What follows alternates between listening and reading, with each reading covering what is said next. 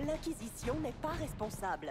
Nous avons averti le Conseil du danger. Le danger est créé par des espions cachés au sein de votre organisation. Sans notre organisation, comme vous dites, vous ne seriez sûrement pas là pour vous plaindre. Personne n'a oublié ce que vous avez fait.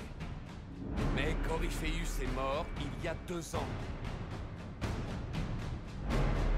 Si l'Inquisition veut pouvoir continuer, elle doit faire figure d'organisation légitime. Pas de compagnie de mercenaires déguisés. Inquisiteur,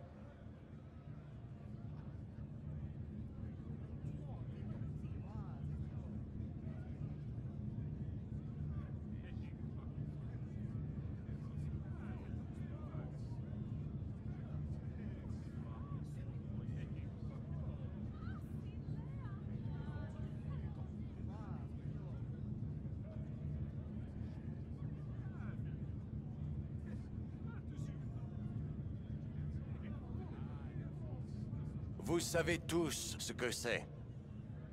Un acte de la divine Justinia autorisant la formation de l'Inquisition.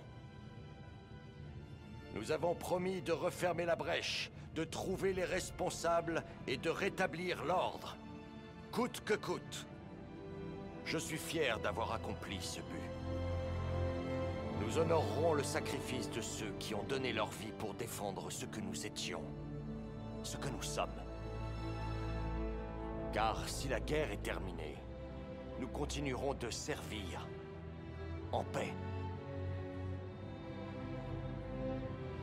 L'Inquisition tiendra lieu de garde d'honneur pour la Divine Victoria, agissant directement sous ses ordres. Notre force militaire deviendra une organisation de maintien de la paix. Si mon périple touche à sa fin, le travail de l'Inquisition est loin d'être terminé.